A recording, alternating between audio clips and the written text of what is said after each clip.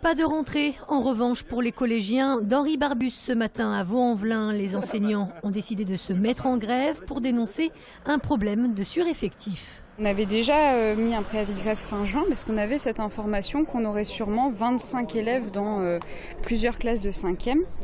Et, euh, et on a su en plus qu'il y avait eu des appels du rectorat pour réinscrire, réinscrire depuis début septembre encore plus d'élèves. Classé en réseau d'éducation prioritaire plus, le collège doit normalement accueillir un maximum de 24 élèves par classe, un nombre limité essentiel pour la réussite des élèves selon le personnel on a des élèves qui ont besoin d'une attention particulière.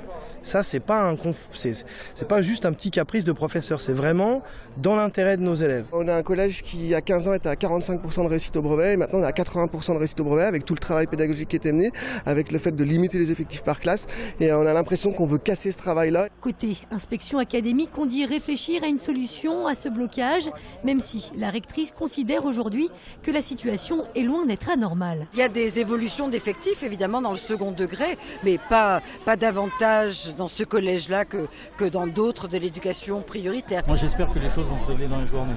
En attendant, les élèves ont quand même pu être accueillis ce matin, un accueil à minima. Nous avons fait euh, rentrer les élèves de 5e auxquels nous avons donné les livres, les emplois du temps et les consignes pour la rentrée.